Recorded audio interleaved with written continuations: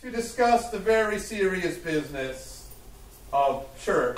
Con los terroristas.